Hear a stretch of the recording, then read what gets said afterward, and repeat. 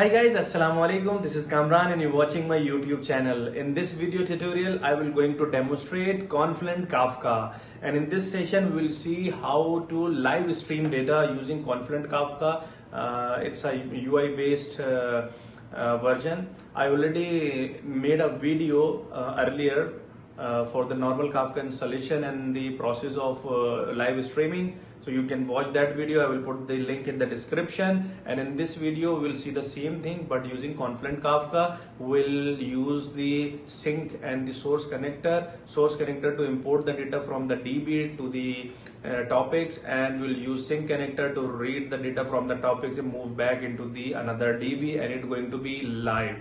So the next you will see my computer screen and if you guys have any question related to the same topic, please write me in the comment section below and we'll see, uh, we'll discuss inshallah there. Uh, please do not forget to subscribe and uh, the next you will see my computer screen. Thank you so much.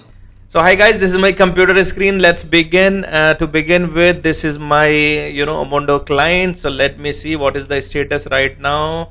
So if you see everything is up and running and I have some shortcuts ready here. So let me take this URL and I think I already open it. So let me just hit it and we'll see. Oh, this is our cluster. And in our cluster and this is our confluent home. And uh, I'll see this is the broker and I have uh, topics as well and I have some connectors as well. To to do this demo I will just remove everything by the destroy command here I removed everything. So now if you see the on the back end the server went down and it will come up accordingly because you see now it's went down. You see you see this is in action it's getting down and up you know this is this is normal because I'm running this uh, action. So let me start one more time. So now it will be starting all the services one by one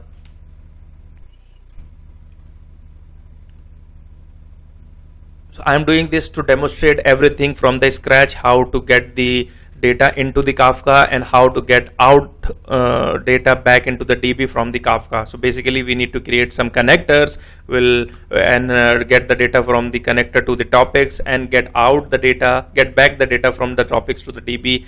Uh, I will try to cover everything in this uh, session. Until this starts, let me show you the database which we are going to use. This is the source. I have a demo DB and I have an employee DB. In the demo DB, I have only one table. So this table will be used as a demonstration where we are inserting and this will be sent, this information will send as a data stream and we'll get back the data into our employee DB into the person one same table and we'll see how uh, it happens and you know how it happened in the real time. So if you see here in my person demo demo database, this table currently have nothing, no record. Even though if I go to the employee database here and if I see here, it also does not contain anything. Everything is blank. So let's go back and see if everything is startup. Yes, everything is startup. So this is my uh, my my home screen of the Confluent uh, Kafka. Uh, the cluster is healthy. Go back to the detail. Currently, if you see the topics under the topics, there is nothing. Under the connectors, there is nothing. I'll just refresh it uh, to let this be uh, available. So now if you see, uh, it's available. I'll give you some explanation what is connectors. Connector basically allow you to connect with the databases, okay, to get the data stream into it and to get the stream out into certain databases as well, live. So if I go back here I, or if I click into this, it asks me to connect the connect, uh, create the connector, add the connector. So if I say add, there will be two choices source and sink and it's also written here sink source sink source. What is sink and what is source? Source basically allow us to get the data stream into the topics. Okay what is the topics basically is nothing but represent the table in the database. For example if i create a source uh, connector i have to define particular table or we have to give a prefix of that particular source connection to give the uh, to get the list of all the tab tables into that particular database okay we'll we'll quickly uh, do it and you will understand what does it mean. So basically source connectors are allowing us to get the information from the database uh, our source database and then we will use this sink connectors to get this information get the get the data live data into the uh, target database. So let's quickly create a sink uh, source connector first in the source uh, my source is basically mysql db so this is basically the connection. So i'll say select and here i'll say my uh, source. That's all. This is the name. I'll just copy as one task one time only run this uh, this session one time only and uh, no error handling required. Here i will define the uh, i have the shortcuts ready the connection strings here demo database uh, connection string. Uh, you should use your database connection. Make sure you are writing the right IP and the port and the database name. This is nothing but a username of that database and the password. And go back. You have to whitelist the tables here which uh, in my case is only person one. I'll just take it and I'll just whitelist it. Hit enter. Sorry. So this table basically whitelisted. So this when we finish this uh, particular uh, connector it will create this uh, it will only bring this table information. And currently only this is available in my database okay? And here mode. Mode of the data should be incremental. So I say incrementing mode. And here we need to say ID Base increment happen based on what? Based on ID and that's all here. We have to define the prefix. Basically this is the prefix I say if you have multiple list of uh, tables you can create a prefix of this particular connector. So I'll say this connector dash. So any table uh, which allowed from this connection it will have a this prefix with and the table name. So that's all I'll say. Continue and I'll say launch. And as I say launch it will add a connector here for me. And yes if you see it's up and running.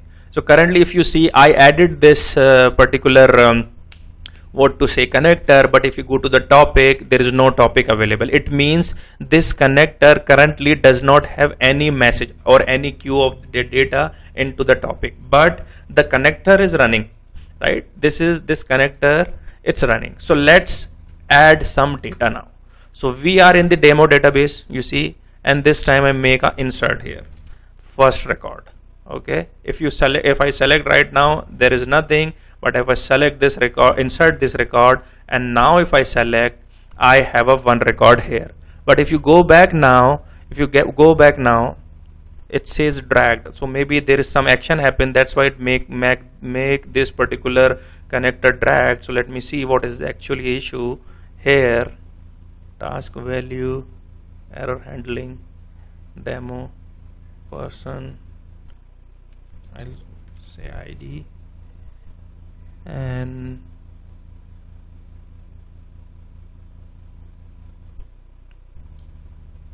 not the connection type yeah all looks good but let me just put the password. Maybe password is wrong.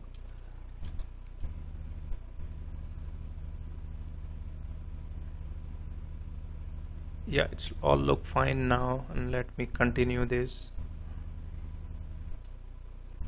it's running now. So let me go back and this time I'll truncate this one more time. And I will insert the same record again. Let's see whether the record exists here. Yeah record is exist here and this is running now. If you see the topic topic is created and there are some activities also in the topics. So let's go back and see the connector if still yeah it's fine now so maybe the uh, column name issue because it's a capital letter id i just cha change this to capital letter and that's why now it's working. And our topic is also created. Now this time what i will do i will i will create another connection because if you see my source database in the source database there is uh, there is nothing still nothing because there is no connectivity. So now this time we'll create a sink connector. Come here add a connector this time we'll choose sink and we select this and we'll select the uh, topic from the list. This is the topic which we select. Here I'll say my sink. And that's all. The task should be one time. Uh, error handling nothing nothing here. Here we need to pass the connection string. This time I use the so target DB which is employee here. Target DB connection string. Username and password make sure it should be correct yeah so this is the password and what else uh, it required yeah insert mode it will be insert only. Sorry control z control c insert. And data mapping yeah we have to define the table which is person table. Uh, map the data into this table. And this DDL uh, support should be true means it allows to write back into the database. And that's all. You say continue and launch as soon I launch it will say that my sink connector is also up and running. And if you see into the topic is there is any activity currently it's not show any activity. So we'll go back and we'll see our both connectors are running. This time I go back into my DB the source DB let me run it.